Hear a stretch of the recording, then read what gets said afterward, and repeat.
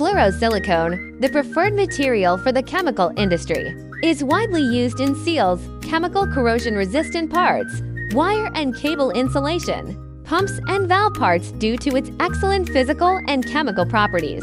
Fluorosilicone has become an indispensable and important material in the chemical industry due to to its resistance to high temperature and high pressure, chemical corrosion, excellent electrical insulation, good wear resistance, and machinability. In terms of seals and gaskets, fluorosilicone ensures the tightness and safety of chemical systems. In chemical corrosion-resistant parts, fluorosilicone protects equipment from medium erosion. As an insulation layer for wires and cables, fluorosilicone ensures stable signal transmission. In pumps and valve parts, fluorosilicone enhances the equipment's resistance to erosion and corrosion. The diverse applications of fluorosilicone demonstrate its unique advantages in the chemical industry and provide a solid guarantee for chemical production.